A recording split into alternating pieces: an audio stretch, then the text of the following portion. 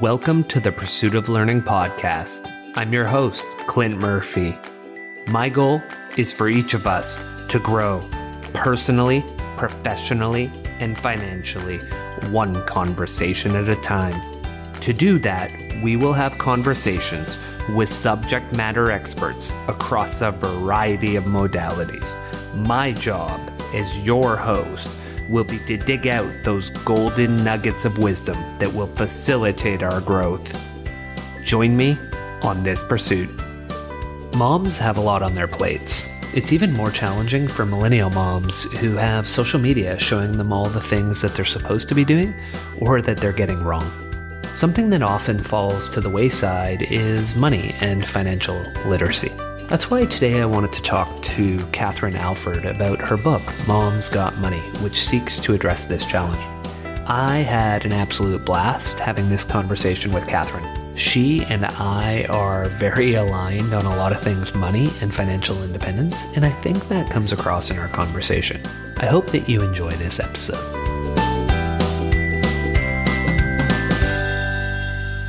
Catherine, welcome to the Pursuit of Learning podcast. Can we start our conversation with a question I ask all my guests? What's motivating you in life right now? And what are two to three things that you want to ensure we get across to the listeners in our conversation today? I am super motivated by all of the moms who I haven't reached yet, who I haven't helped yet. There's millions of them out there, and every day when I wake up to work, I think of everyone who hasn't heard my message yet, and that is what motivates me to keep going.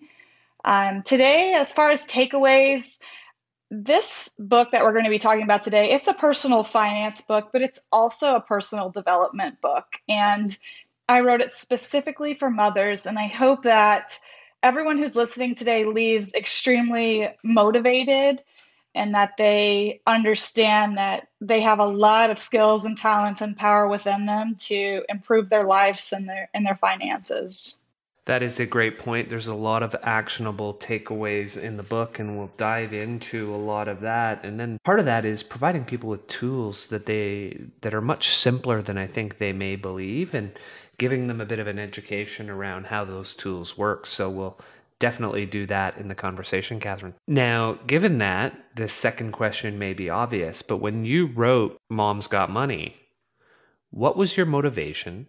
And I'm assuming the target target demographic was mothers everywhere, as you just mentioned. But do you want to dive into what your demographic was and why you wrote it? Well, I'm really glad you asked this question because this book, this book journey, it, it, did not come easily. Like you see a lot of people who are in similar jobs to me, influencers, like in media, you know all of these different partnerships with banks and all of these things and they seem to get book deals really easily. That did not happen for me.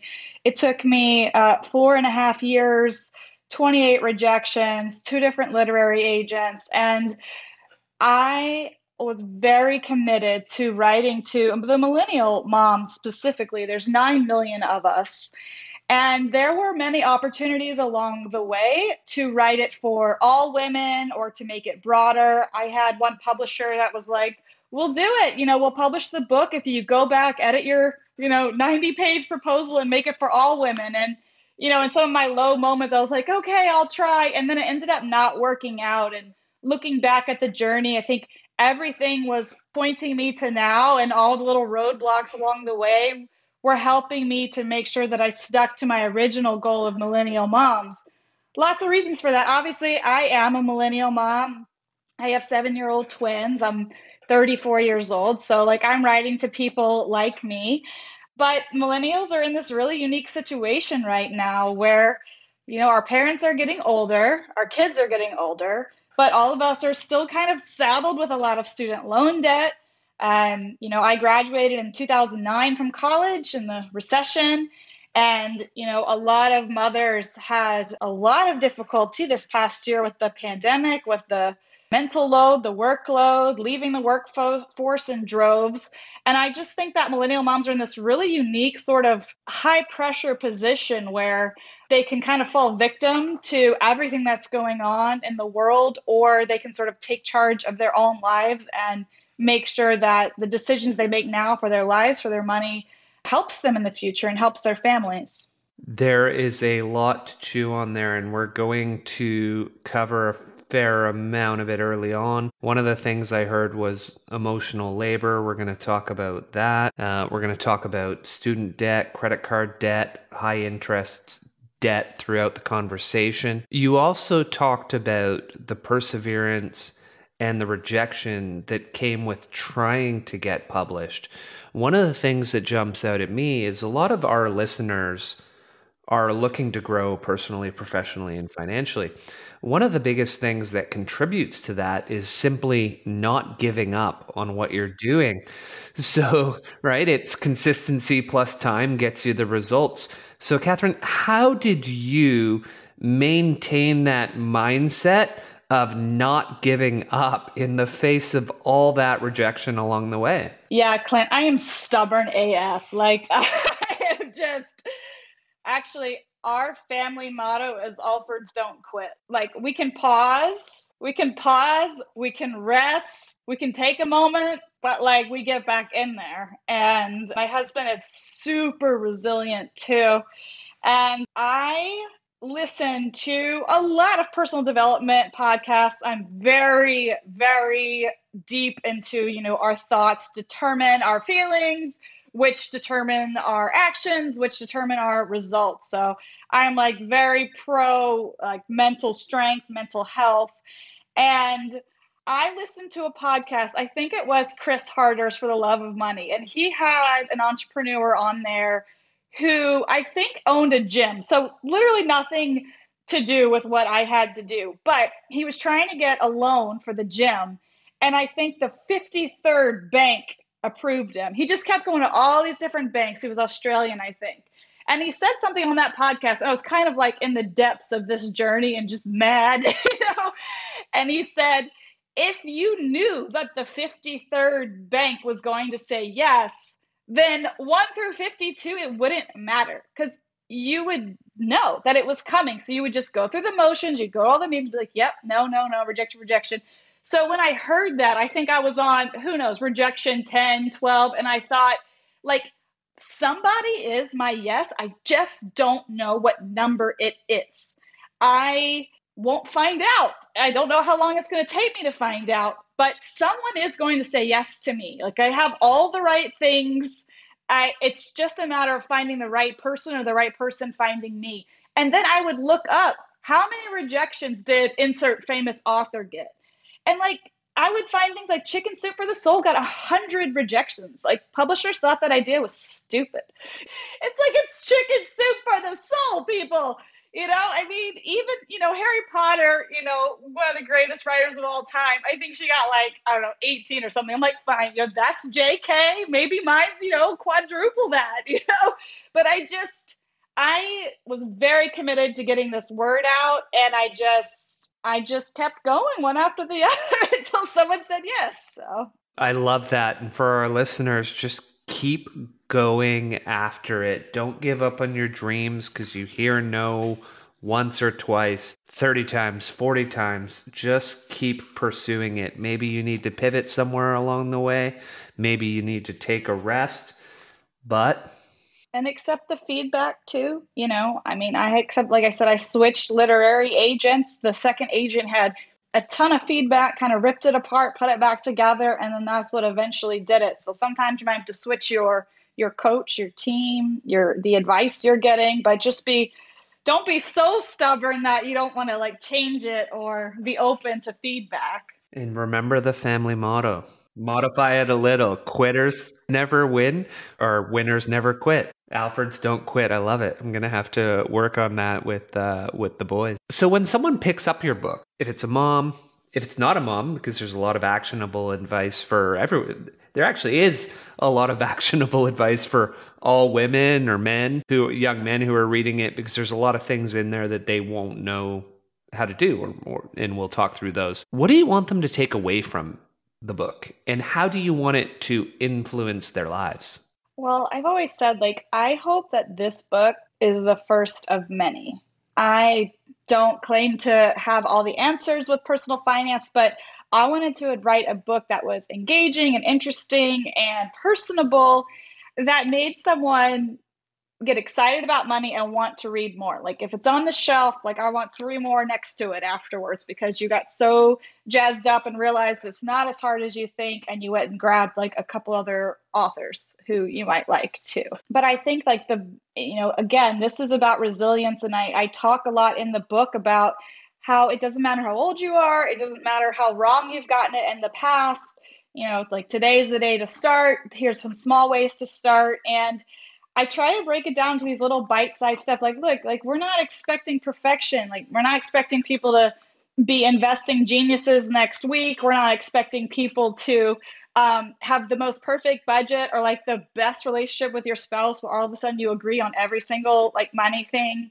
You know, like this is not a miracle book, but this is a book about taking personal responsibility and sort of injecting that motivation into people to realize, like, wait a second, I can do that or I can learn anything. Like I have this big chart in the book about, you know, some mindset shifts and, you know, some thoughts that you can use to replace the negative thoughts you have about money. So if it's like I'm terrible with money, you just replace it with I can learn about money, you know? Even if you replace it with a neutral thought, we don't have to jump all the way to I'm a money genius. We can just do that middle step. And I think people just expect these huge results immediately, but this is this is a lifetime of learning and process. So I hope the book just jumpstarts that for a lot of people. And you had a very good point right there that I really want to emphasize at the, at the end. A lot of people overestimate what they can do in a very short period of time and underestimate what they can do over longer periods of time. A lot of the things that you're teaching and writing about money, as simple as they are, you need to do them for a consistent period of time before you really see the great results, which I think we'll talk about as we go throughout, which then ties into not giving up when when you hit those initial early roadblocks or you're learning because it will it will come in the fullness of time. So you talk about mindset and you highlight early in the book two key things that I'd love to take our listeners through. You talked about scarcity mindset. I also just maybe three, because I just heard when you were talking and you were talking about the fact that people could learn and they can grow in these areas. It highlights a growth mindset for me. So we've got scarcity, growth mindset, and you also talked about a concept that my wife's started bringing up to me more recently, which is emotional labor. And I think that's a very important one for our listeners to understand. Can you take us through those three concepts and then we can talk about how scarcity mindset and emotional labor combine negatively as it relates to money? Sure. Well, when you have a scarcity mindset, you believe that money is hard.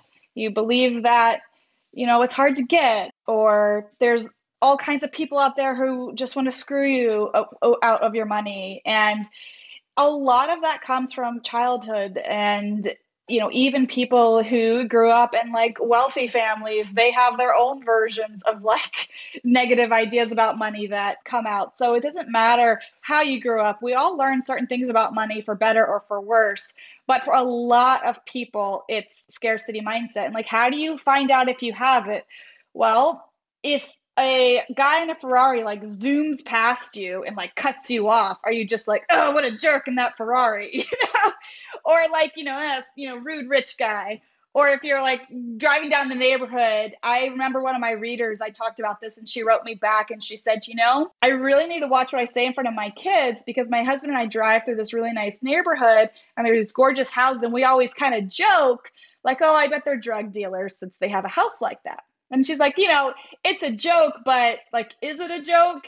And you know, when you're driving through a neighborhood, you have, like, what would you tell your kids, and how do you respond to them? And all of the energy and the thoughts and the words that you put out there about money make up your mindset and whether it is scarce or, or growth. And how do you tip? And every time you tip or give you send signals to your brain. Do i have enough or do i not have enough? And I kind of feel like I like abundance because it's crazy. And I spent my last chapter of the book talking about this. I can't explain it, but every time I give, it comes back to me somehow. Or every time that, you know, I'm relaxed about money or I give a little bit more than I felt comfortable, it always like seems to work out. Or I get this like mystery check in the mail because like I overspent, you know, at this place or with this bill and I got a refund. It's like the weirdest things happen. But when I'm stressed about money, because I definitely go through phases, and when I'm like, oh man, all these big things are due in the same month, and I feel very like scarce and tight, it seems like that's the month that like the dryer breaks. And like that's, it's, I can't explain it. It's so woo woo, but when I'm in abundance and when I'm in a giving mood and when it's like things just work out, it's the strangest thing. And look, I've been through plenty of periods where stuff is not working out. so that's how I try to stay. And if I notice like little things happening or breaking or things pop up, I kind of have to check myself. Like, how was I feeling about money? How was I feeling about work and my clients and my money coming? Like, am I freaked out right now or am I feeling good? And I don't know, it matters when it comes to money. I don't know if I'm like, I mean, I could talk about this for like three hours straight. You highlighted there for the listeners, if they didn't catch it, scarcity mindset, you just generally always feel like there's not enough, whether it's resources, money, whatever it is, you have a mindset that just says, I have to get mine and protect it and keep it from others. And the opposite of that, the cat just highlighted, was an abundant mindset. So, abundance, you just, you believe there's more than enough of whatever it is for everyone in the world. And if someone else wins, you're that's one of the downsides of a scarcity mindset. You're often unhappy when friends or other people win because they just got something that you can't have now. Whereas with an abundant mindset, you can cheer on people when they win and get a big raise because you know there's still enough to go around and yours is just around the corner. So scarcity versus abundance is a wonderful topic to spend hours and hours on. Absolutely agreed. But we'll have to cover more of the book, so we'll we'll, we'll keep going. It's one of my favorite things to talk about and teach. Really, it is. But it's hard in practice for sure. Oh, it's beautiful. Yeah. It's good to teach the kids too, and, and we'll talk a bit about what we should teach our kids later. And so, emotional labor. Yeah. Uh, I mean, if I could define emotional labor, this is a phrase that is um, becoming increasingly popular. Um, there was one article about it in Harper's Bazaar, I think in 2018. And she really started it. Then she wrote a book, and now it's something that's being talked about a ton, especially in terms of the pandemic. If I could just like break it down to like the easiest terms, I'm going to talk about scheduling a haircut. When my husband wants a haircut, he calls and he schedules his haircut. When I want to get a haircut, I got to think about five things. I'm like, what am I doing that day? Will I have my kids with me? Should I get a babysitter so I can enjoy my haircut? You know, like, you know, how did I put that in my budget? You know, should I ask my husband, like, can he, is, is he going to be around that Saturday to like watch the kids? Or like, do I need to take time off work and block that out of my schedule? And there's like, there's so much that goes into me scheduling my haircut. It's a, it's remarkable that he can just schedule a haircut. it's just like wild. But it's not something that my husband Jonathan did on purpose. Like he's not trying to make his haircut scheduling easier than mine. This is the result of generations of societal and cultural growth that's happened. We have um, women are maintaining a lot of the same responsibilities they did 100 years ago and but we are working a lot more in the workforce now. Even stay at home moms, I talk about it a lot. I mean, one of the things I encourage stay at home moms to do in my book is to like get a babysitter sometimes. you know, it's like, you know, if you had a job, you would have vacation days. So, like, this is your job and it's so hard. Like, you should budget in a babysitter. I think it's just all the worry and the weight of thousands of decisions that women, but more specifically moms, have to make every day. Like, and it's something that happens naturally, Clint. It's like, why am I the one scheduling the parent teacher conferences? I don't know. No one told me that that was my job or that I had to. It's just you take on these like responsibilities for whatever reason. And uh, we're really bad at outsourcing moms. We like to do it all We like to uh, we like other people to think we're doing a good job. We like to you know think we're superheroes until we like crumble. then like we really need help. We leave it till it's like an emergency. so yes, mental load is a huge thing. And one of the things I said in the book is that I know that money is a huge worry for a lot of people, a lot of moms, because we're responsible for we're probably the ones doing back to school shopping and making sure that the kids are scheduled for their like well visit and their flu shots and their this and their that and their sports like I was I spent a lot of the time yesterday like looking for tennis classes for my son. I don't know, no one told me that was my job, but somehow I acquired it and decided it was my job. I don't want money to be to add to the mental load. Like I cannot fix all the rest of our mental load problems, but money is something that can be automated and planned and organized so that it doesn't take up if it's like keeping people up at night. That can be something to take off their plate. The and how would you say because it, you mentioned millennial moms versus moms in general. We're right on the border. I think they call us exennials. We're right between millennial and and Gen X. It's like a 3-year group, so we're Did you have a cell phone in high school?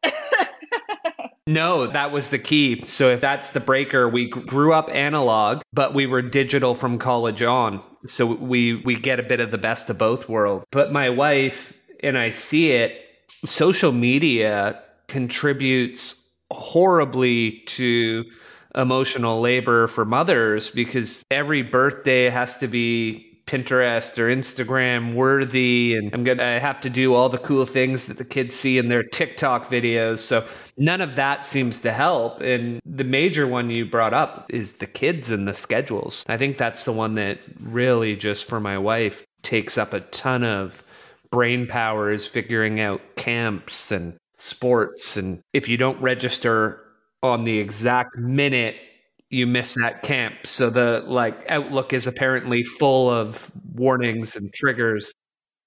I miss memos all the time. Like it's like, how did y'all all schedule camps already? Why are people asking me in February about summer camps? I'm like, was I supposed to do that already? I can't like I didn't get the newsletter. You know, it's like how do you know this stuff? like, exactly. You know because you miss one year and you're like, oh. Right. And you're like, shoot. okay, okay. Next next year I've got to be on it. Absolutely. And so a big thing you want to focus on is if we can make your money easy because you already have a big stress load. So if we can make your finances easy, it's going to make your life easier and take some um, um, mental load off? Absolutely. And I mean, I outline exactly how I personally manage my money in the book.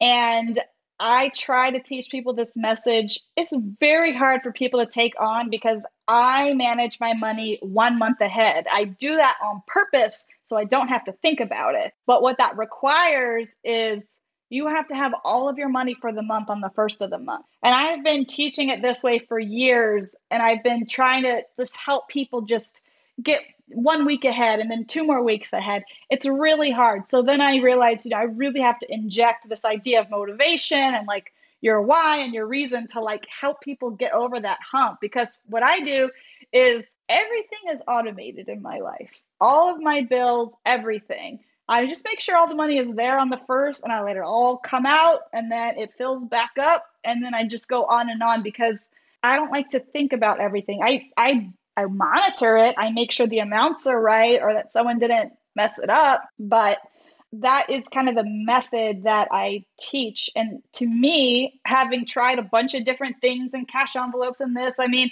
uh, I've been doing this you know job for 11 years. So i've tried like all the things all the apps and like this is just what works for me. And so I, I share that in the book. And i also kind of teach people like how to get that one month ahead. It's it's basically like you know three or four months of like super focus to like build up build it up.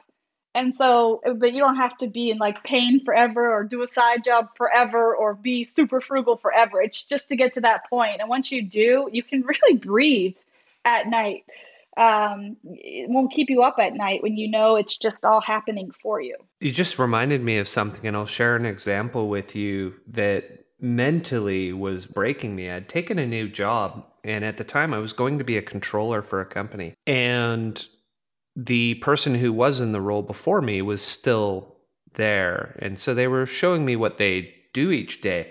And this company had hundreds of entities. And one of the things the person would do each day is update the daily cash flow daily. So that was fun. He would just open that up and he would go through every one of those hundred entry entities and he would just sort of look at the entity and be like, all right, what's coming up today? What's coming up this week? What's going to happen in the next seven days? Hmm. And then he would just like key in a bunch of stuff. And I was just looking at him, thinking to myself, you do this every day for like three hours and it's all from memory? Like, this is ridiculous. So, like, I just sat down with them over the course of the week and said, Hey, can we just put together a little list by entity? What are the things that happen every single month? Can we just put when they happen, what day, and then I can just kind of use some lookup formulas to go grab that information so I never ever have to have that have to spend 3 hours Oh my god, it was so mentally stressful.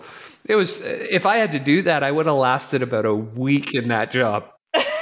You're like, nope, today was enough. That's enough. Yeah. So it was all about how do we automate this so that, to your point, the finances are automated. That's done. Now I can focus on the bigger pieces. I can focus on the budgeting and the cash flows.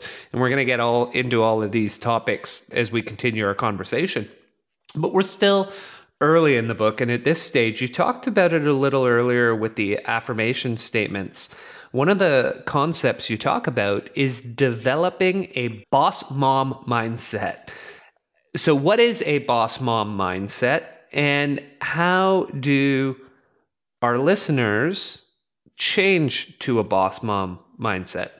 Yeah, I think that, you know, and this is all connected to our conversation about mental load and all of that stuff. So I think, you know, sometimes when people uh, follow me, they, they think I kind of like have it all together or I never have a day where I'm overwhelmed. And it's like, oh no, like I've got, yeah, plenty of days where like the kids totally break me or like the job breaks me. But for me, the boss mom mindset is a leadership mindset. And I do not think a lot of moms view themselves as leaders. I, you know, a lot of us are like, gosh, no one knows how much we do. And it's like, I don't think you know how much you do. I don't think you realize, like, what a valuable leader you are in your family because we kind of think of it as like the mom with like formula on her shirt and like like we can't like get all the way ready and like we're so hard on ourselves and it's like, no, like you are the boss of this family. Everything would fall apart without you. And so I try to get moms to recognize that they have all of the skills and the talents within them to be amazing at anything they want to be, at anything they want to succeed at, simply because of the fact that they're a mother and everything that they have to manage on a day to day basis and hold on to, and everything that they worry about. The boss mom mindset is not waiting for other people to do things for you. I, I mean, I feel like I tell my kids every other night, like, look, I'm not a waitress, all right? Like, stop asking me for water and stuff. Like, you're seven, you have two arms and two legs, you know? So I feel like, but the day-to-day grind of that you kind of are like yeah i'm kind of a waitress. Like my all i need to do in this life is to give people snacks. But you know when you sit down and you really think about it you're like you are making some of the biggest decisions for your family whether you're a single mom or in a relationship even something as little as camp like we're talking about. Every choice you make goes into your child's development their memories of their childhood their interests everything that makes them into who they are. These are not little decisions. You're raising human beings and I the boss mom mindset is taking it from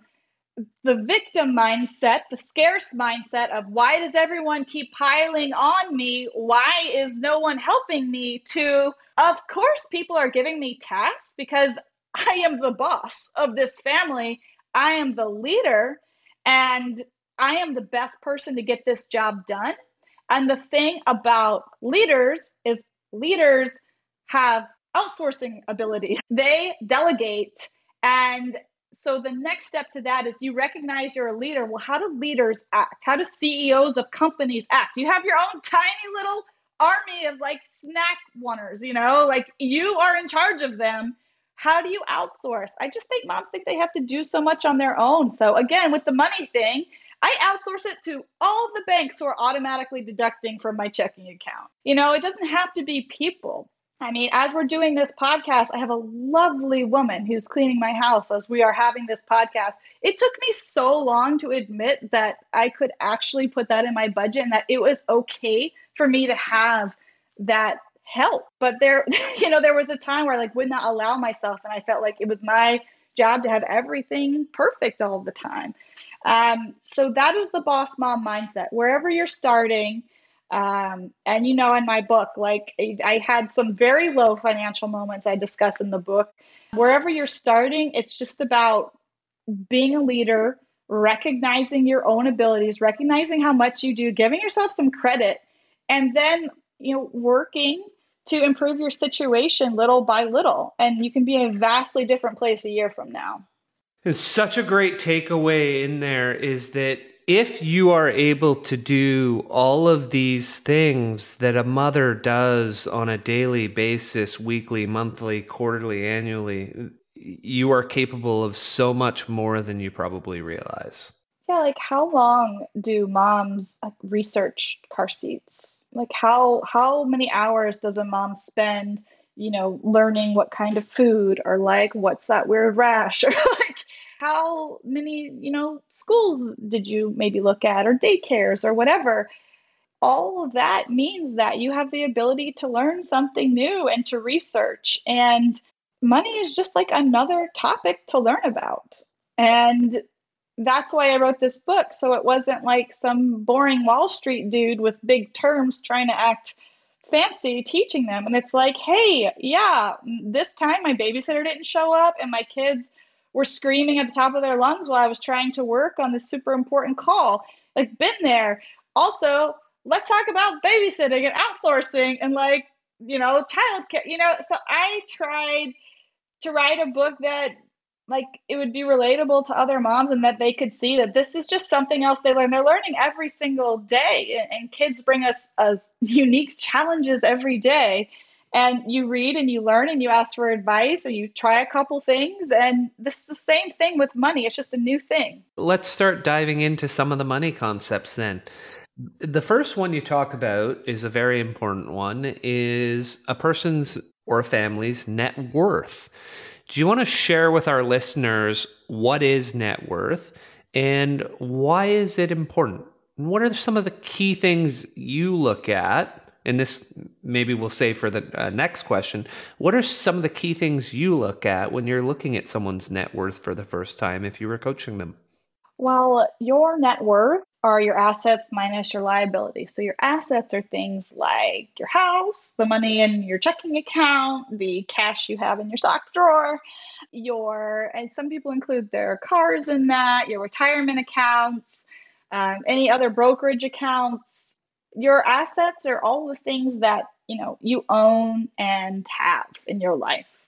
Your liabilities are all of the things that you owe in your life. So that'd be your mortgage that would be your balance on your car that'd be your pesky student loans that would be the money that you owe your dad because he bailed you out two years ago and you've been paying him back slowly. You know all of those things are your liabilities. So you take all your assets you subtract all your liabilities and you're left with your net worth.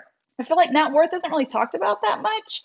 I feel like, again, I really wanted to elevate this conversation for moms. All of the personal finance content for moms is like, hey, girl, like, don't forget to clip your coupons on the way to the grocery. And I'm like, no, moms are intelligent leaders and they can handle more than their grocery coupons. So I put this net worth chapter before the budget chapter because I wanted people to know where they start too many people are are focusing on the day to day, the paycheck to paycheck, the money stress of like not having enough in the month itself. Net worth gives you just this broad view. How am I doing? And it allows you to kind of write down some goals. I even say in the book, look, if your net worth like looks terrible and is a big negative number, you are going to have the coolest chart 10 years from now. Like imagine like how awesome your line is going to look. Like super boring to start out with like 3 million dollars. Like let's start out with some negatives, baby, and like watch it go and track it every month. And so I just try to tell you it doesn't matter where you start, but the net worth is important because uh, not because it makes you who you are or it counts towards your self worth, but this is your legacy as a person. This is your family's legacy for how you want to live your life, how you want to retire, your level of generosity. And it's good to set a net worth goal and some benchmarks and work towards that. Absolutely powerful what you were saying there. And in our family, I can share that net worth is predominantly all I focus on. So I project out 10 to 20 years and set some pretty reasonable goals while still being uh, audacious on on what we're going to achieve as a family. And my responsibility in our family and you talk about this later is who's responsible for what. When we have our family uh, finance meetings i'm focused almost exclusively on growing the net worth. And usually that talks about the top line and the investments and my wife generally focuses on the cash flow and so she manages the cash with an iron fist uh, and, and, i just say okay where are things going to get us to where we want to go and and then she makes sure that everything shows up and so net worth i think the more people focus on it the more they're going to get to where they want to go and that's a key concept. What gets measured gets managed. So if you're not looking at it, how do you change it? Okay. And so, what are some of your key considerations? Because I, I love in the book that you go through different scenarios and you say, "Hey, this is person A's scenario. This is person B's scenario. Here's some th- some takeaways that they should be focusing on." What are some of the big ones that you want to highlight right off the bat that people should be paying attention to on their net worth? Well, I think that, you know, you brought up the great point of the investments and making sure that you have investments and making sure that you understand your investments. And, you know, I think that's such a scary thing for a lot of people coming in. Um, this goes back to like, you know, you can learn anything, you can read a couple books and know more than like 99% of the population about investing. And I encourage people to focus on that because, I, again, I think people get too bogged down in the day to day and they don't think about the future. And investing is one of those things that you really do have to start. You don't have to, but it's the most beneficial for you to start as early as possible and to pay attention to that as early as possible. And a lot of the things that stress people out, like debt or you know their student loans if they have investments and their investments are going well and you know they're pouring all of their money into that everyone has a different way of doing things but it might alleviate some of the stress of like well i have these student loans but the payment is this but look how well my investments are doing. And even though i made like a $500 student loan payment i made my investments increase by $2000 last month. So i'm going to focus on that it just gives people this extra knowledge layer. Um, again, we're thinking long term, we're thinking big, like we're going big. And I start every budget meeting with um, a, a, goals, a declaration of goals and fa- individual and family goals. And one of the things I say in the book is like, your goal should be super embarrassing to tell other people. Like, they should be so big, like, you would not want to bring it out at the park when all the parents are hanging out together because they would think, like, wow, like I don't know if this person's crazy or they're stuck up or whatever. Um, and then, you know, once you think your goals are like super big and audacious, then you kind of erase them and then you go bigger and more embarrassing with them. And I like to start the budget meetings like that, you know, because it reminds us that we're on the same team. and um, then you go from your goals to your net worth, and you're like, okay, what where do I want to be to achieve all those like crazy goals that we just said that we're too embarrassed to tell anyone? Where what numbers do we need to be at? And then I go into like the monthly budget because then it doesn't really matter so much. it's like I'm not going to fight with you over like how much to put in the dining out budget because we just saw where we want to be and like that's way more important than like getting sushi or going out one more time. And so I like to start it that way because again, it kind of it makes it like a team thing. It makes it it it alleviates any like nitpicky stress because we're not worried about we're not super worried about the tiny granular problems that come up month to month because we're focused on the net worth. Um, yeah, I, I kind of did a little baby intro to investing in the book. Um, but again, you know, you asked me the main goal, and my main goal is that this is the first of many books. Like, I hope it pushes people to go to that next step because that, as you know, like that's the way to, to build wealth. You can't like save your way in a savings account to multimillionaire status. You have to invest. Yeah, the and one of the keys to that is the power of compounding. I don't know if you have an easy way to demonstrate to the listeners. Usually it's through an Excel spreadsheet to, to demonstrate the power of compounding, but do, do you have an easy way to, to get across what the power of compounding is verbally? Yeah, I mean, and like you said, we can do a spreadsheet. You, you know, you can, there's a, a lot of compounding calculators, but you know, essentially you earn interest on your investment. So let's say your $1 turns into a dollar and 10 cents this month or something. Well, instead of earning interest on just your dollar the next month, now you're earning interest on your dollar and 10 cents. And it just goes from there. But that times a lot more dollars times a lot more years is pretty remarkable over time. And again, speaking of automating, you don't have to be super active with it either. Like as long as you uh, sort of know what you're doing, you can you can go real conservative with it. You can get really into it and get hyper aggressive with it. I just tend to chill. Like I invest in index funds, which is kind of just broad conservative. I explain index funds a little bit in the book. I kind of compared it to like a really nice um, dinner delivery service. Like your index fund is not one of those food like dinner deliveries that make you chop all your vegetables like before.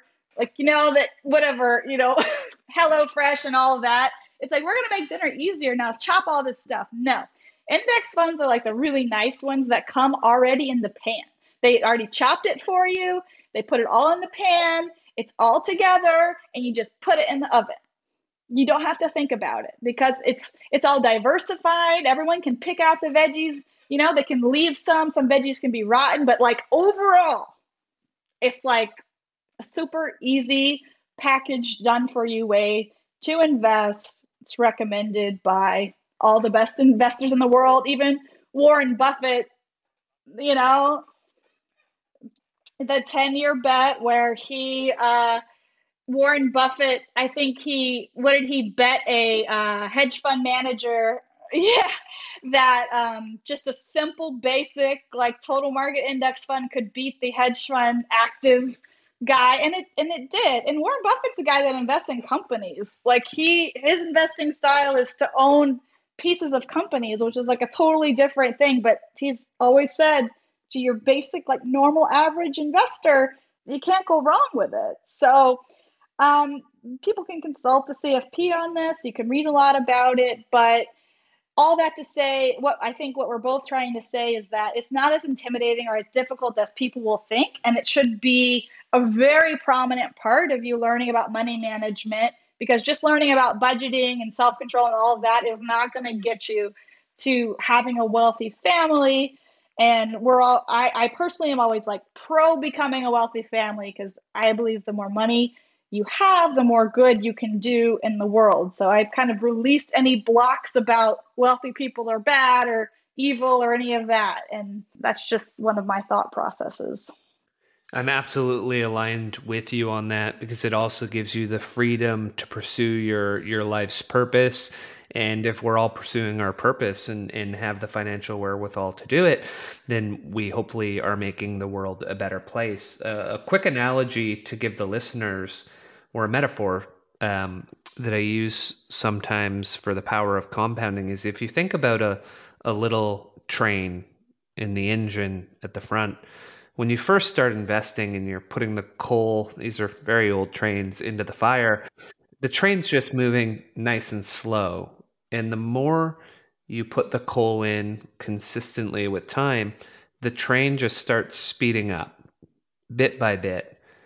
And over the course of years of investing, the train starts to go full speed.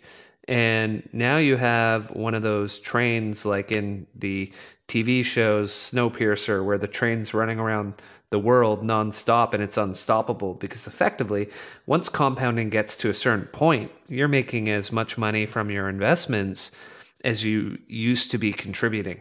And when you get to that point, it's a wonderful place to be. And that's where your family will truly start to see your wealth grow over time. And you can keep it as simple as possible, as you're saying, Kat.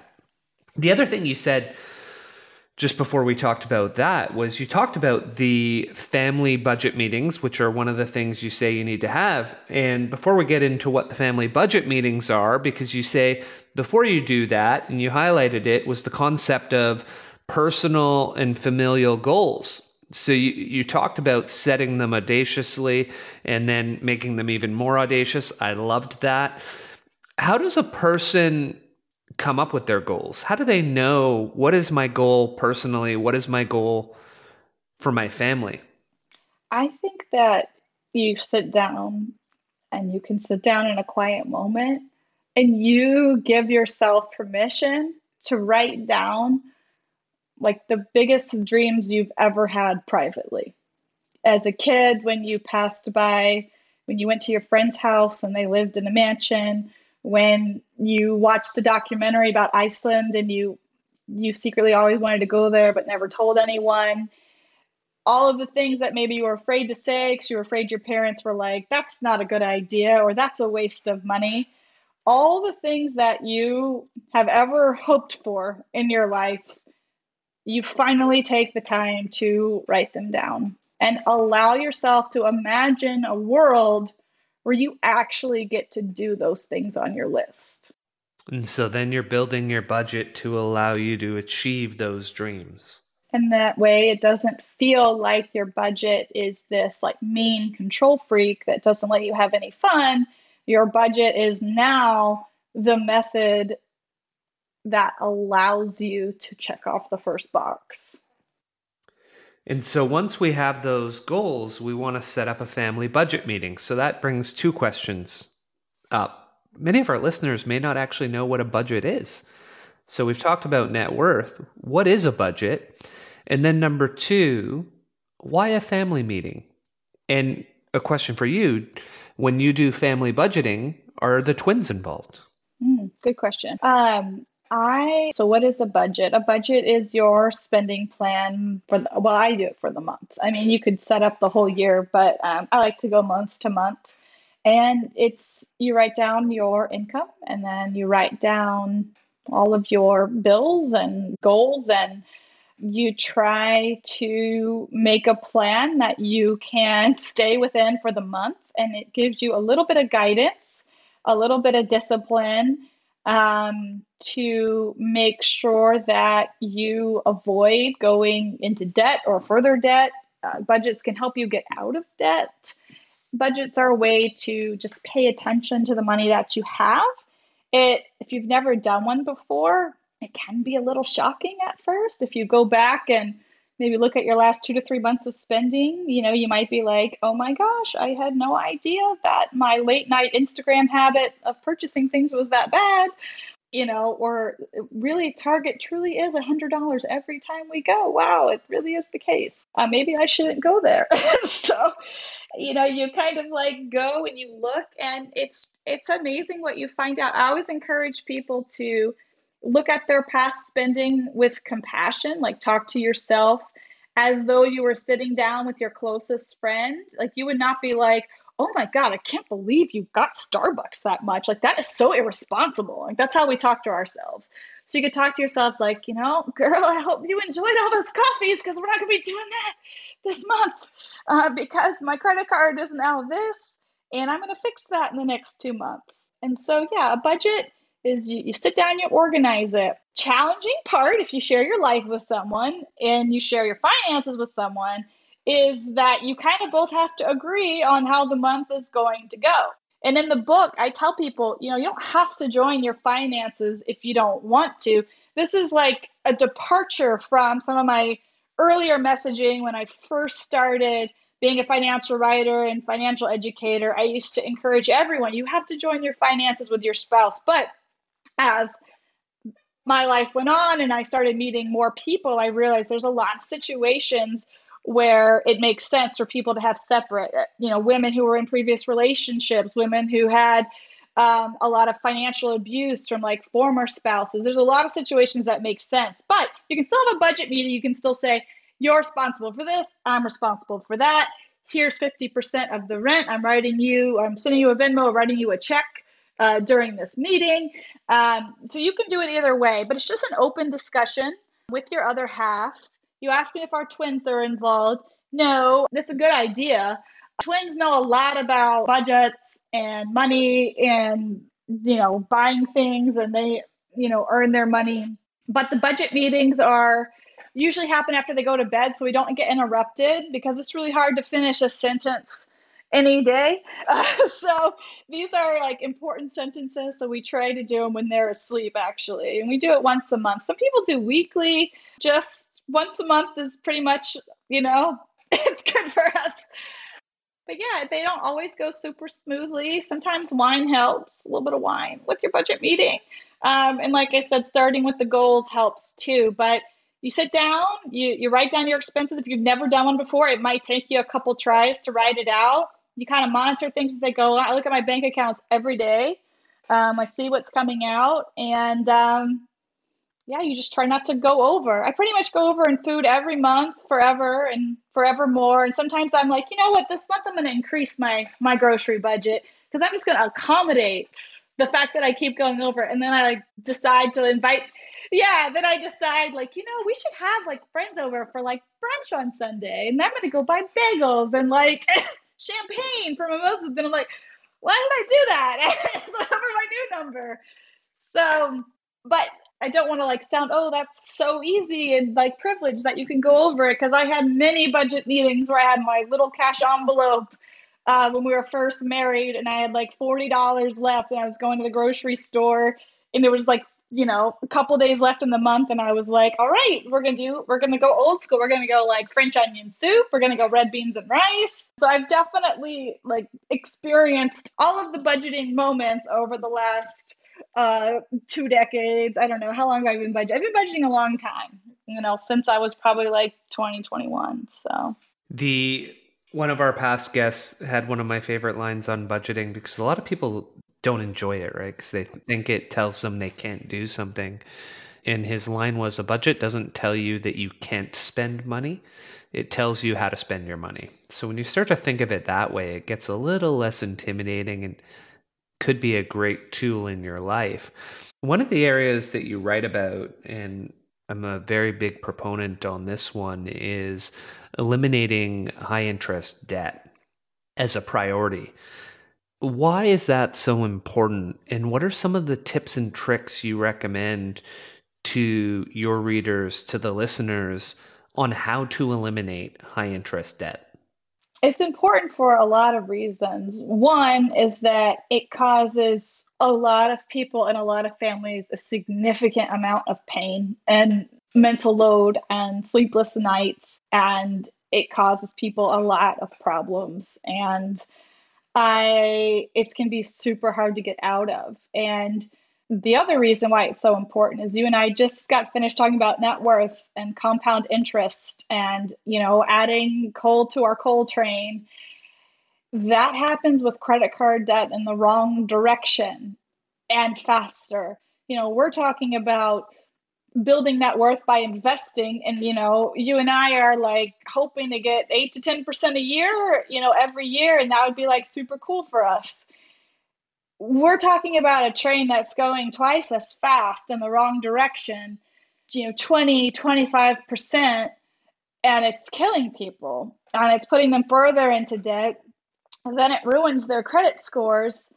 They don't have the ability to get out of their situations because if your credit score is destroyed, well, now you have to go to like a really crappy car place and get a place that's going to give you a 30% car loan because your credit's bad and then you can't get a house and then you you can't get a personal loan to like fix it for a lower interest rate. Like it causes so many problems for people and i i hate getting emails and hearing from people who are in so much pain with this high interest debt. A lot of people again the the budgeting and all of that can help prevent it. If you've never had credit card debt and you want to make sure that you never do just budgeting in like some savings and emergency fund to kind of you know make sure that you don't get there is is a great way to do it. It can be really hard to get out of credit card debt super hard. Um, i you know the first thing is to just to stop using them. And that can be challenging because a lot of people rely on them to supplement their budget. And my solution to everything, which people don't like because we're the world is apparently anti-hustle culture now, which I keep getting that memo, but then I keep telling people to hustle because I don't know any other way to get out of credit card debt than except for working extremely hard and taking on a side job and just busting your butt and selling everything in your house and just knowing that the pain of three to six months of a second job and the exhaustion that you're going to feel, it's going to be painful either way. You either have the pain of being exhausted and knocking out the debt, or you have the pain of being in the debt and the worry and the ruined credit score. So you have to get rid of it. And there's no, you know, we keep talking like, this is a millennial message. There's no quick fixes to any of it. There's no quick fix to building becoming wealthy. There's no quick fix to getting a book deal. There's nothing is nothing worthwhile is quick. And so this credit card debt and a bad credit score we're talking like a hardcore 6 to 12 month journey to fix that. And it's totally possible to fix. Lots of people do it all the time. It's just taking the responsibility doing the extra work calling the creditors asking for lower interest rate, asking for them to like freeze the cards. There's a lot of things that can be done, but really hard work is what it comes down to. Yeah, hard work, smart choices, and for a substantial period of time, sacrifice, right? So when you look at that budget, and my wife and I have done this exercise with some family in the past, and you look at the monthly expenditures, and you're seeing Tim Hortons or Dunkin' Donuts, if you will, is is I, I, think your version of this down in the U.S. And you're seeing it three times a day, and you're saying like, what what are you doing? Like you're you're saying you have money problems, but you're spending twenty bucks a day on like donuts and coffee. Like this makes no sense. Like scratch that sacrifice, right? Like just make some coffee at home for a while. And just know that if you get to a certain point and you get good with money and you start your net worth, you can go to Tim Hortons anytime you want. It like literally won't matter. Yes. Yes. Sacrifice now. Live below your means for a period of time so you can live the way you want for the rest of time. And for the millennials out there, not just millennials because it's everyone, but the millennials are the ones that are coming up right now and, and getting into the into the financial world and going through what we're talking about there is no quick fix. There is no quick way to get rich, quick way to get wealthy, quick way to get out of debt. Everyone seems to want to watch a YouTube video on how to be a millionaire overnight. Most of the people that are filming those videos, it is a tremendous amount of work to be one of those people. You do not become an overnight YouTube sensation easily. Those people are killing it. Same with business, the same with weight loss. Yeah, yeah. It's hard to explain how much work goes into like one four minute. video. yeah, you want a big social media following? That takes an incredible amount of time, commitment, effort, and one of the key words, consistency. You, you want anything, it's the same recipe. So um, I'll get off that soapbox now and jump onto it. But it's people don't like that soapbox. I live on that soapbox, but it makes people mad, and then they unfollow and send me messages, and I'm like, all right. well, it's it, it's it's hard for me to get onto the box because, you know, I, and I'm learning so much more in Life Cap, but I basically tick like, you know, eight of the nine privilege boxes. And so I recognize that. And for some of those boxes, the other boxes help contribute to me getting there. And it's everything we, we just talked about hustling for long enough, consistently enough, uh, sacrificing mental, mental, physical, familial health to get to a position where we could pull back and live a more balanced life. But for, for a number of years, there, the sacrifice was massive. And, you know, am I glad I made it? Yeah. Would I have wanted to keep going for more time? Absolutely not. Uh, need that time with the children and with my wife. The so having talked budgeting, we now get to the key to it all. And if you're in the accounting world, you're in the business world, everyone knows that cash is king.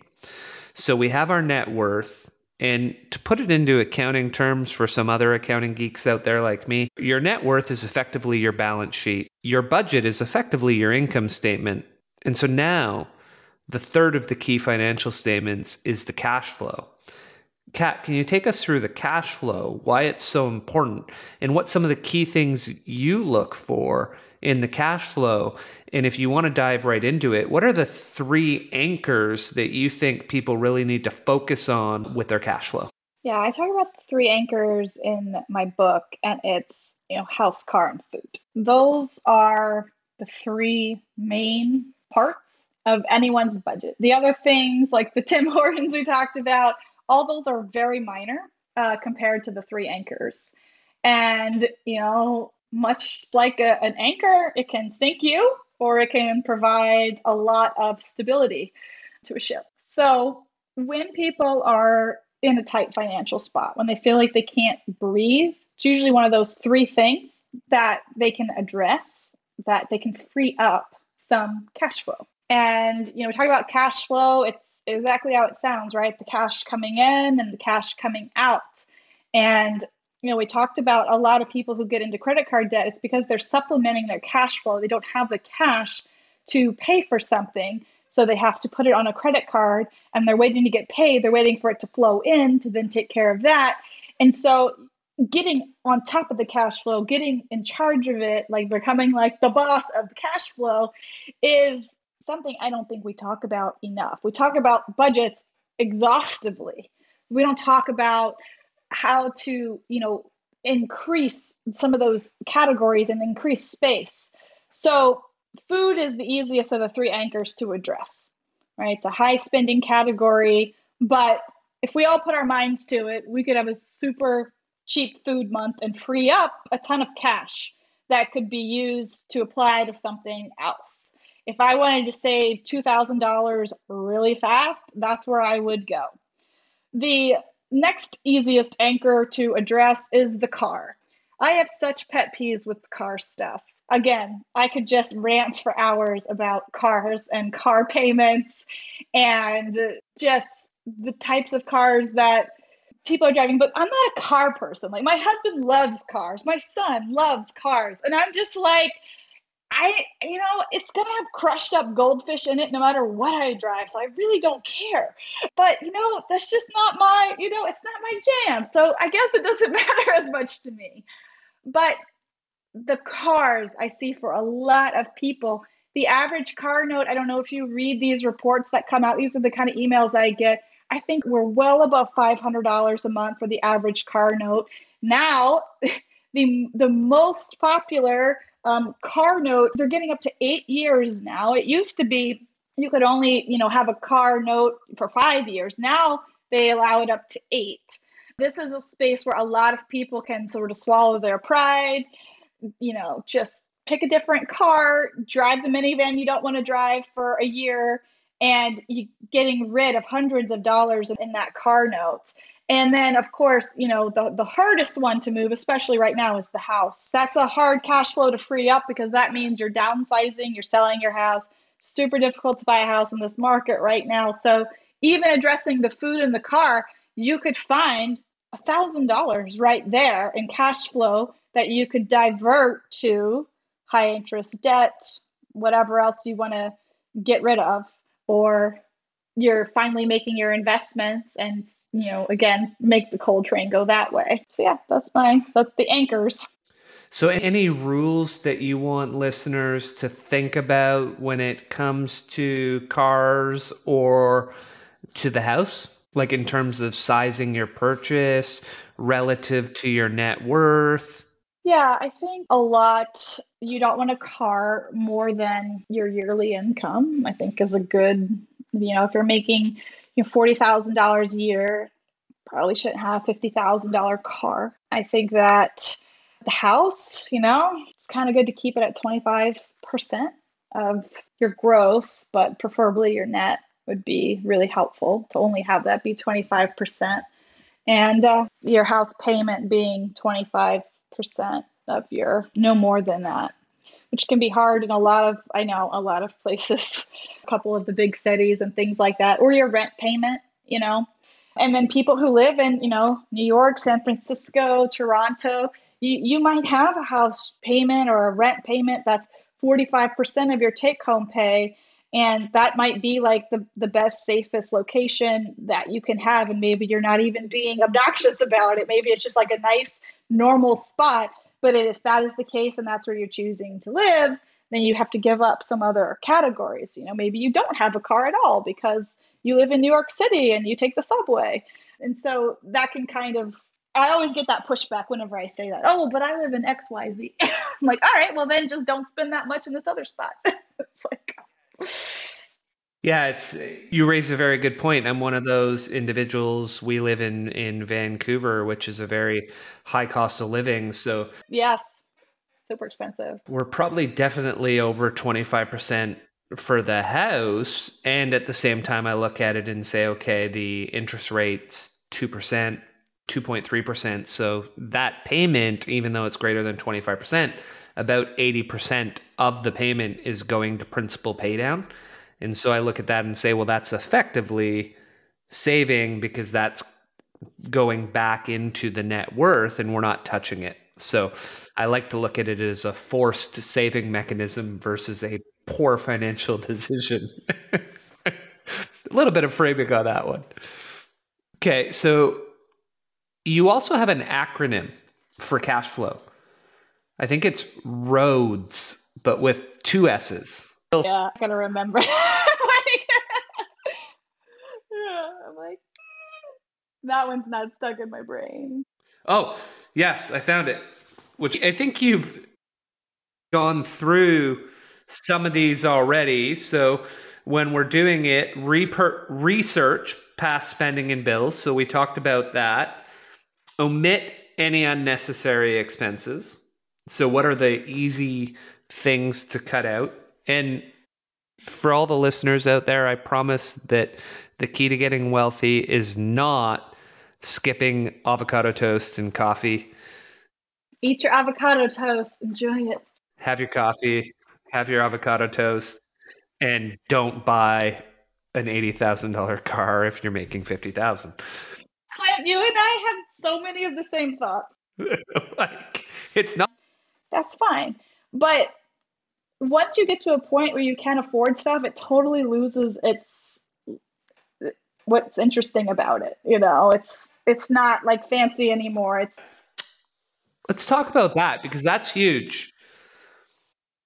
I actually just moved and it was astonishing to me how many things I sold, how many things I got rid of, how many bags of trash.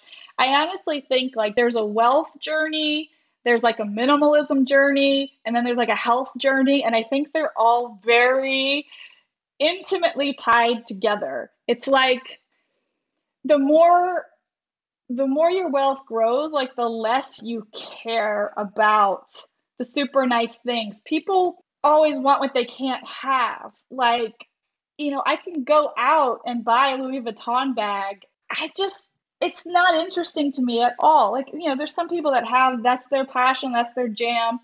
That's fine.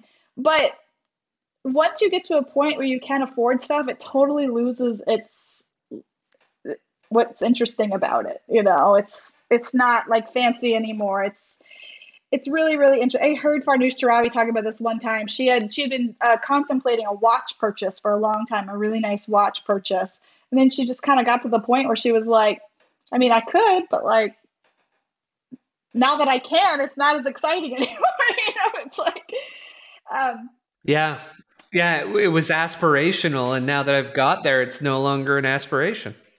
You know, it's just one of those things. So honestly and then when you get kind of like organized with your money and like you're kind of like doing your food budget it's like once you get organized in one aspect you start to like organize your house and get rid of stuff and then you start to like get healthier and like it all kind of comes together.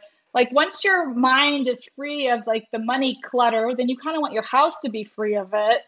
And that now that you're like organizing on top of things now you start to have some freed up money and you're like you know I could join the gym or I could, you know, buy a set of weights or I could get a trainer or something like that. It's I say sell everything in sight because this ROADS formula is for when you're trying to shift your bills to a one month ahead system. This is kind of what we were talking about earlier, you know, starting the month with all the money that you need for the month. This is like the formula to like buckle down for a couple months to get there and then stay there.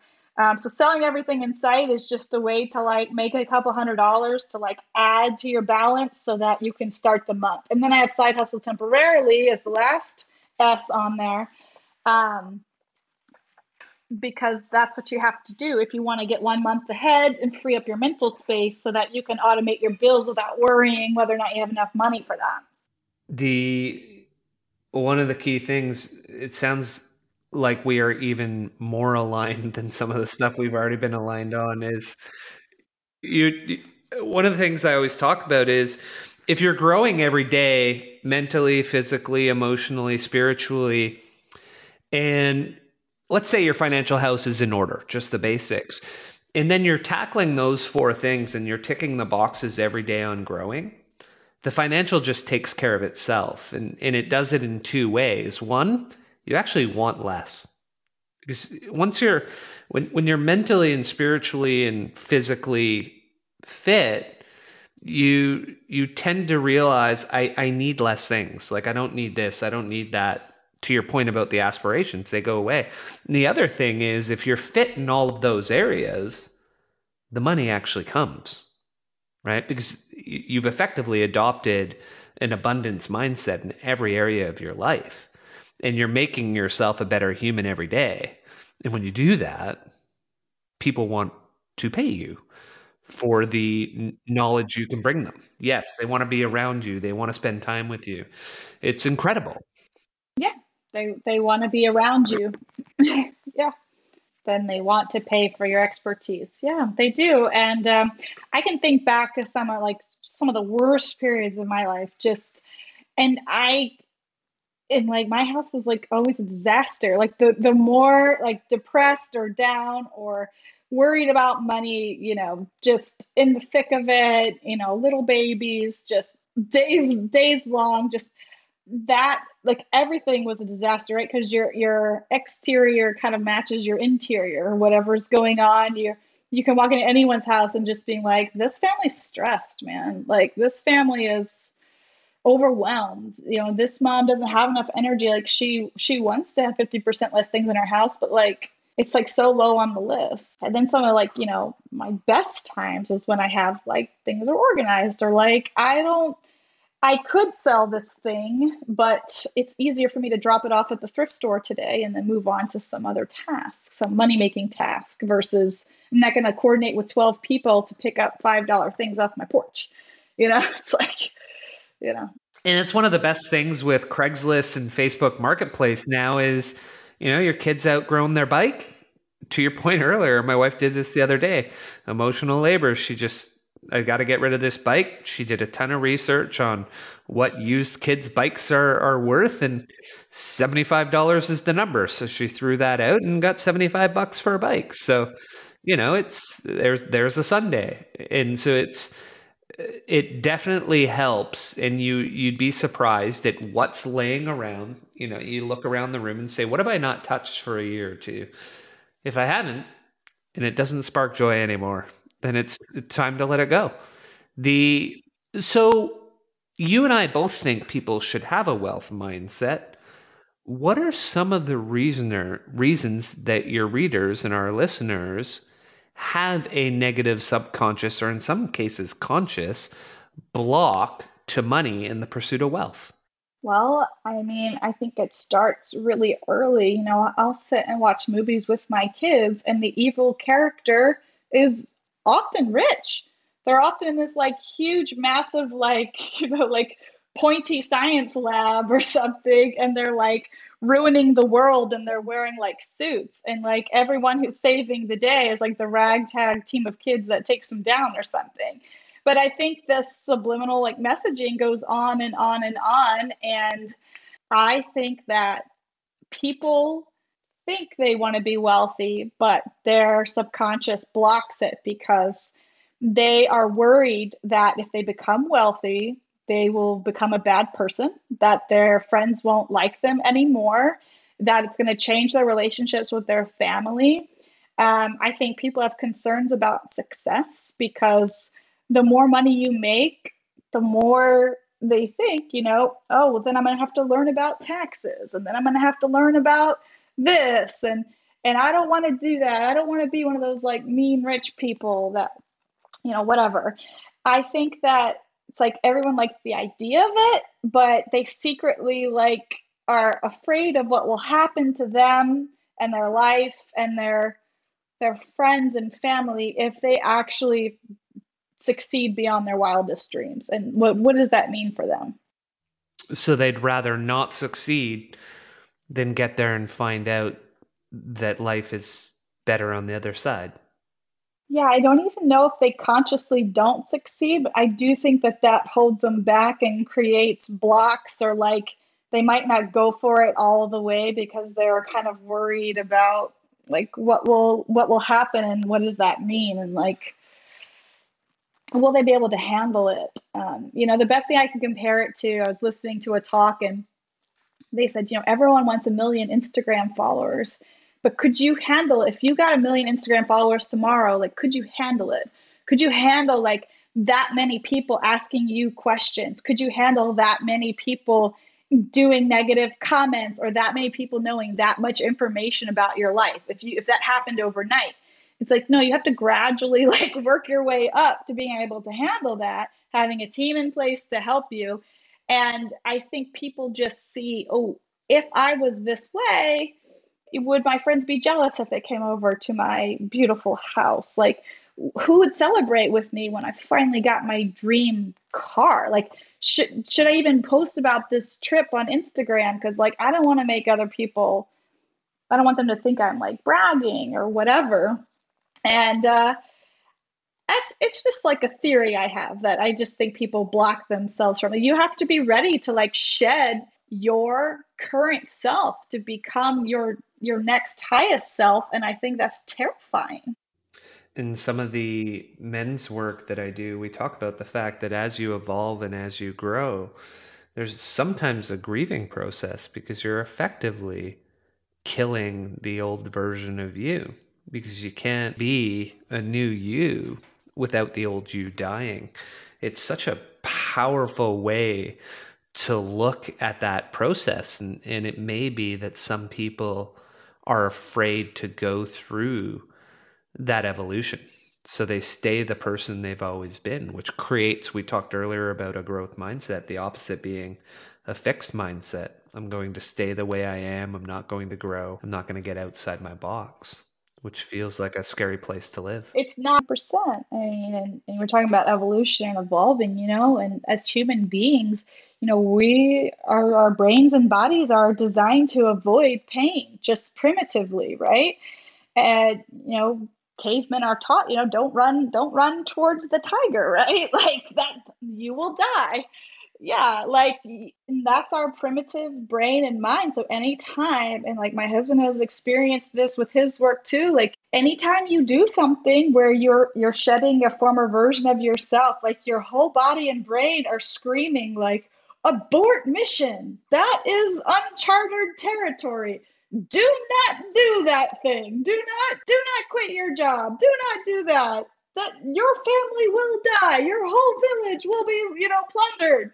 And, you know, this is just like our biology just saying, I don't like that. I don't like that. And so you, you can either be a person that's like, nope, don't like it. Gonna just stay. I like my house. I like my nine to five job. Just gonna do my thing, watch my football game. Or you can just be like, I am gonna go through this incredibly uncomfortable metamorphosis because, like, I have this gut feeling that this is the right thing for me to do. But yeah, it's again, it's not easy to become a new version of you. It's not easy to build a company. It's not easy to build wealth. It's super, super hard. That's why there's a small fraction of the population who actually do it and are successful at it. But success does not equal happiness, right? We know this. Yeah, absolutely. No.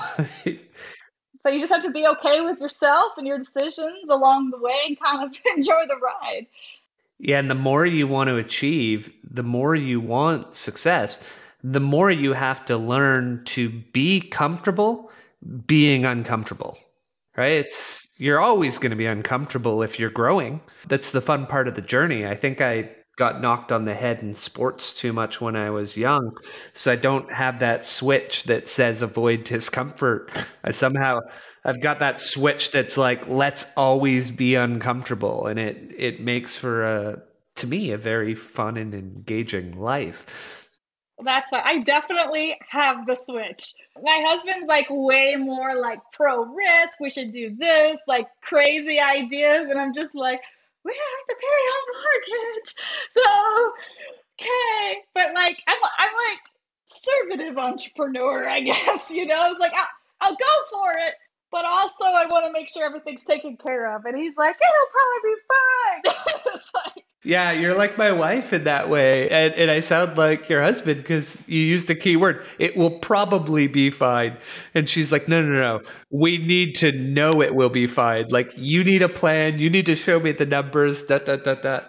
Yeah, I love that. You have children. yeah, yeah. Our, our children will be homeless. I'm like, I don't think that'll happen. I think you're going to extremes here.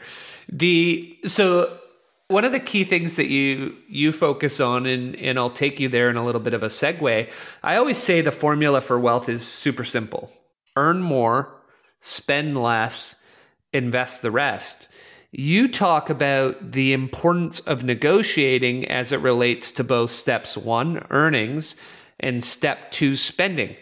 Can you take us through that because a lot of people do not like to negotiate so, what do they need to learn? I know, I love it. yeah, I I love negotiating. Like I I love. I think it's because it's confrontational. For, or a lot of people perceive that it's confrontational in a negative way because when you negotiate you got to really be like up you know like with another person and again it could be uncomfortable but my secret to negotiation, I think I mentioned this in the book, was like I'm just like super nice. I'm just like the nicest negotiator ever. And you know, in the past couple years, I've worked with a lot of like large businesses, and I'm just kind of like a one woman show. But I've gotten used to negotiating, and you know, I just do it in this super nice way. Like, oh, I don't do anything for less than that. Oh, I wish I could. God, I'd love to work with you, but gosh, I have it ha- for that time commitment. It has to be something like this. And normally I get what I want. But I always encourage women that they have to get that uncomfortable feeling. Like if they're going to ask for a raise at work, a lot of people who get started in a type of entrepreneurial job where you have to have like clients and you have to negotiate contracts and things like that I say ask for a number that's really uncomfortable. Like you should not feel good sending that proposal email. You should feel like you want to throw up because you just asked for a number that you don't think you deserve. And now you're super awkwardly going to have to wait a few days to see what they said. And it, there's nothing that should feel good about hitting send and like in a negotiation where you're actually getting what you're supposed to be paid. Because again, women, moms, undervalue ourselves, undervalue our time, and undervalue our, our skills and expertise. In a, in a negotiation, that's what I say. Just make sure you're feeling just real queasy and you're probably right on the mark in the number you should be asking for. And the same thing with negotiating down your bills. Again, my secret is like I am super nice. Like I promise like the annoying cable company has had no one be nice to them that day. I'm like, oh my gosh, hi.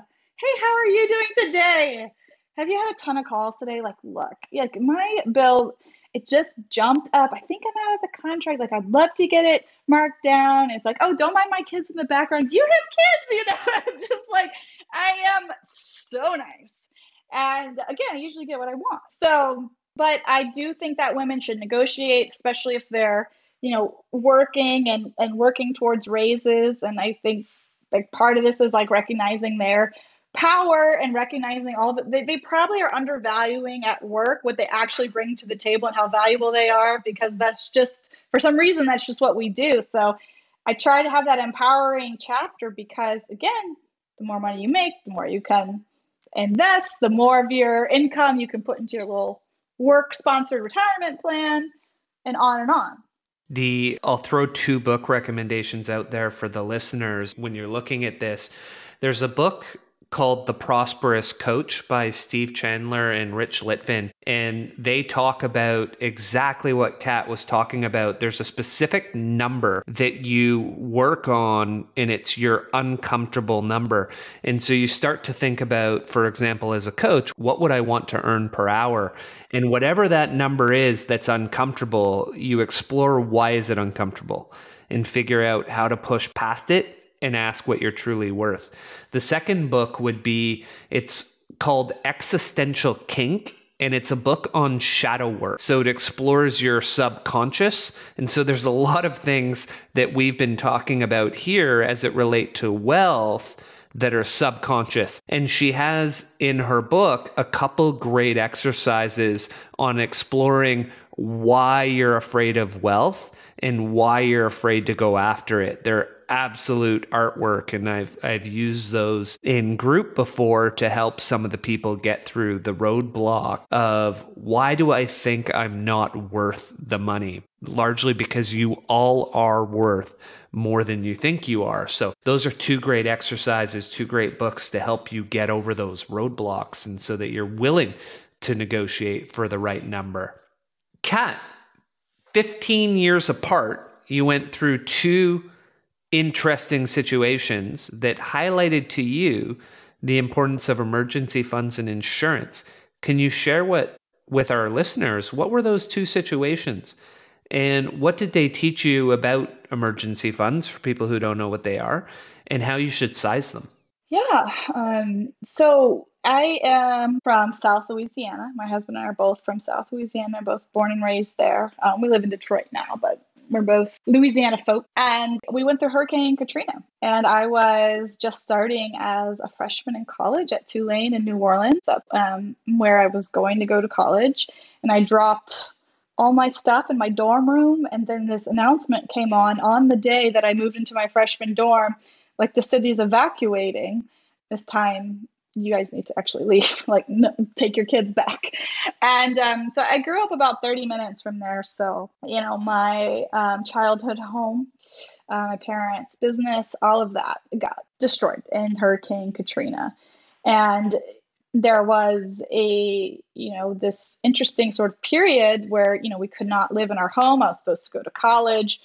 And, you know, my parents had an emergency fund. They had money saved aside where they could handle a situation like this.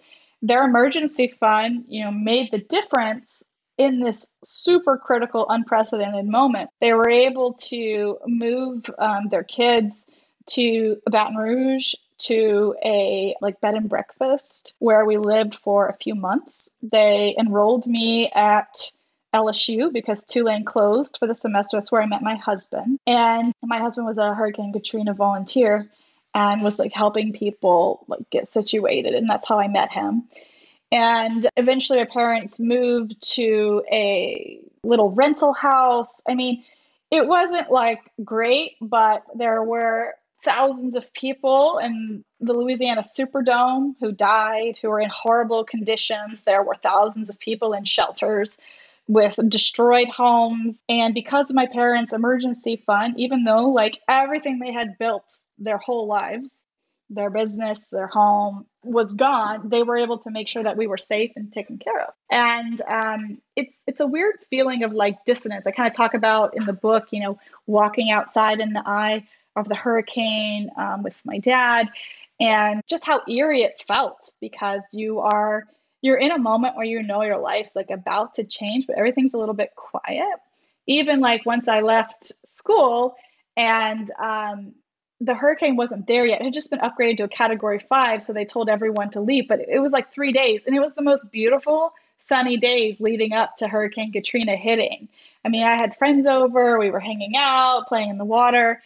And, you know, 15 years later, I just had this like crazy deja vu because I picked up my twins from kindergarten. It was supposed to be their spring break.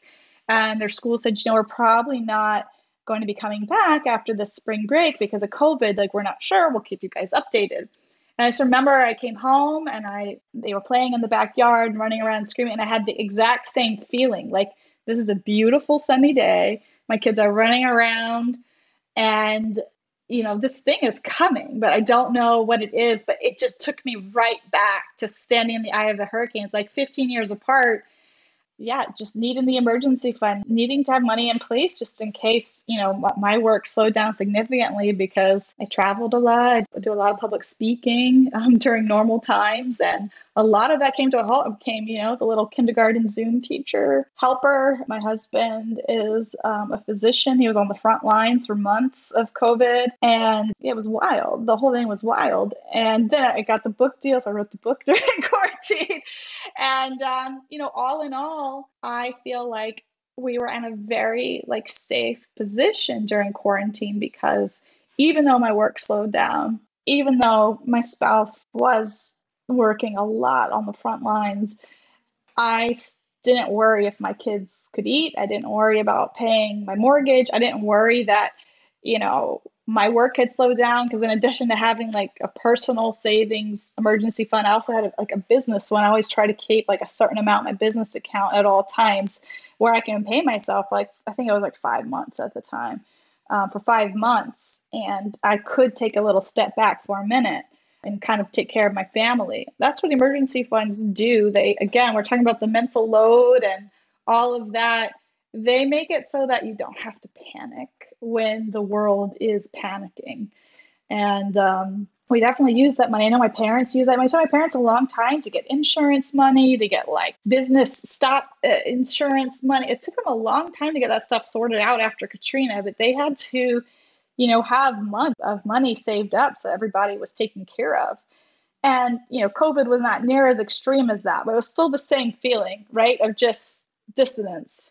Yeah, and for some people it was, right? There's some people who who did lose their jobs and ended up in rough situations. I think both the both the US and Canada here stepped in pretty quickly to put in programs for those people to help them through that rough time, stimulus checks or or we have one I think uh, we called it CERB that helped people who were unemployed for a period of time. So that that was beneficial. But if they hadn't stepped in, that's where you're saying the importance of the emergency fund is. And based on what you've seen in those two situations, what do you recommend for duration for people to build that emergency fund up to? Gosh, I used to say like three to six months, and now I'm just like, I wish I would have had a year when COVID hit. Like I said, I had like the five months for me for my income, and like I like to feel like I'm, you know, I like to contribute. And at the time, my husband was just in training, so like up until like a month ago, I was the breadwinner for like ten years.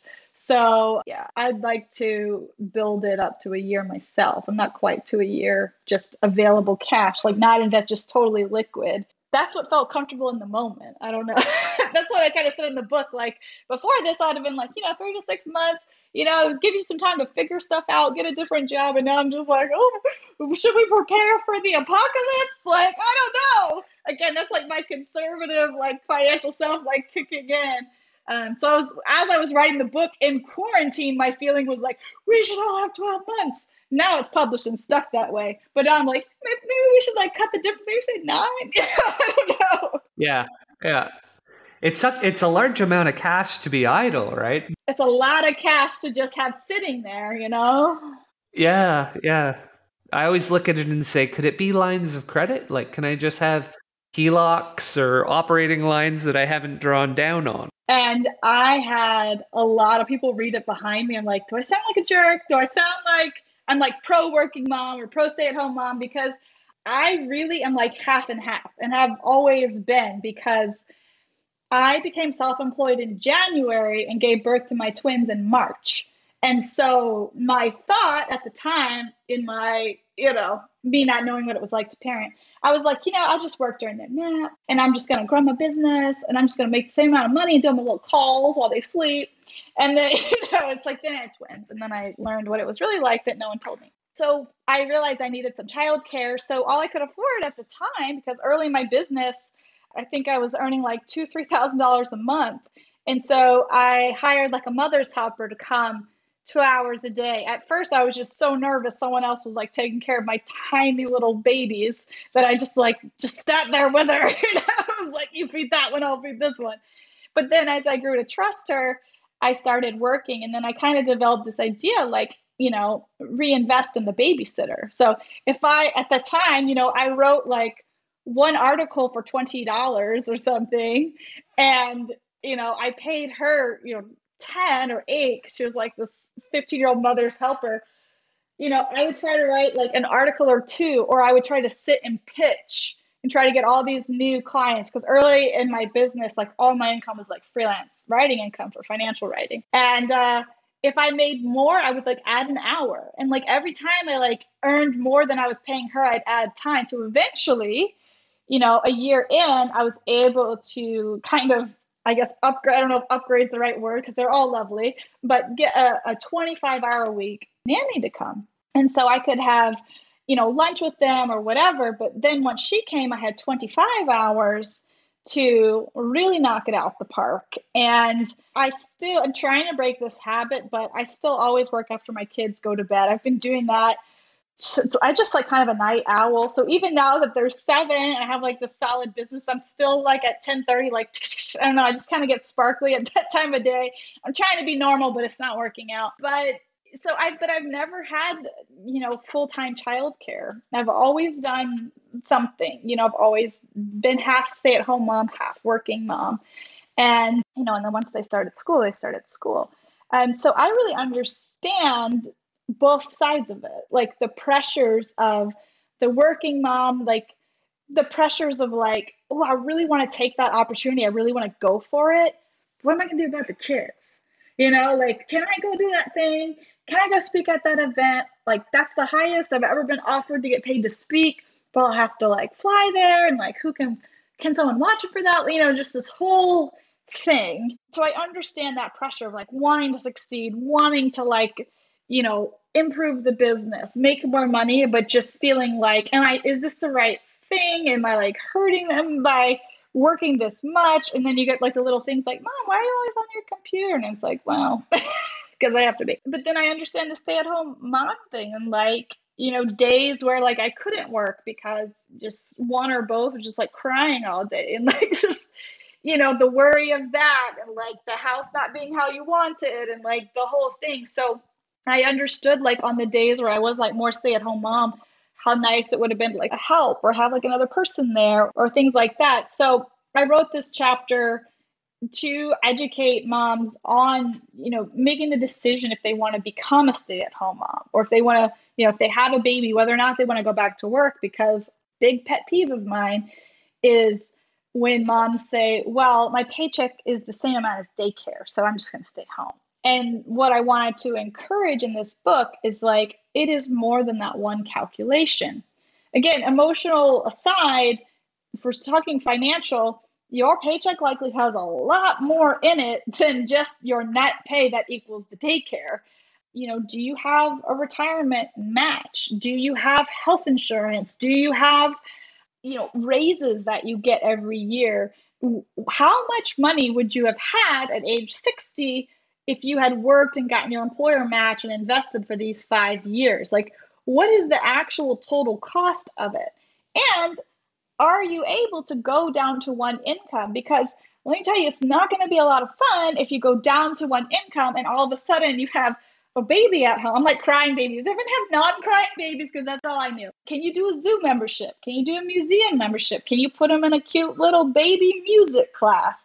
Or because you went down to the one income and you know you have limited savings because you wanted to stay home, now do you feel financial stress? And so now you're really not having a good time.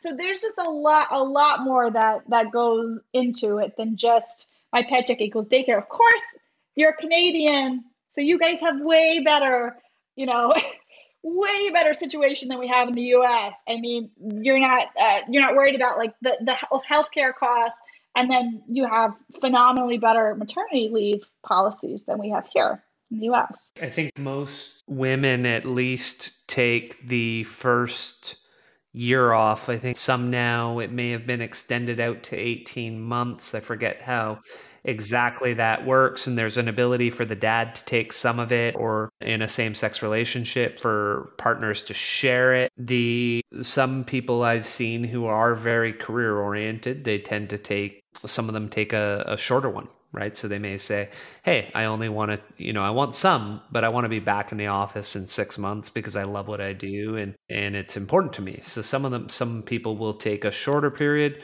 but it's it's a pretty good program. I know with with both our boys, my wife took off the full year the first year and then they were in daycare and we also were able to and not everyone has this opportunity. My mother in law effectively moved so that she could watch our kids every day, right? At some point, we put them in daycare because we we thought, well, you you need to be socializing with other kids, not just your mother-in-law, right? Yeah, exactly. Yeah, maybe you should meet another kid. yeah, but she would drop them off, pick them up, help us out. So it was absolutely, absolute a lifesaver. Now, enjoyed the conversation. A lot of great things we covered. Is there anything that we didn't cover that you want the moms that are listening out in the world or anyone that that you want to want to add? I think honestly, kudos to you. This has been the most thorough interview I've had during this whole like book tour, and I enjoyed our conversation too. And I think we we did a lot of step by step things. I think if I was to say anything to end it, it'd just be to reiterate to the moms out there that they can absolutely learn anything, full stop. Money is just another one of those things, and that they have all the abilities and leadership skills to be more successful than they can possibly imagine listening to this right now, and to kind of like go big and to go for it when it comes to their personal finances, and that you know if they choose to read this book or request it um, from their library that I hope it helps them at least get a jump start on that journey. Excellent. And we'll have a link to where they can buy the book in the show notes. Where else can our listeners find you that we'll put in the show notes, Kat? Yeah, I'm at uh, catherinealford.com and there's like a Mom's Got Money starter pack in there. So if you want like a spreadsheet outline or a, a little budget template, or even I think I included um, some of my like my mindset chart of like new thoughts that you can adopt. They're all in there. It's it's free. It's at the top of my website.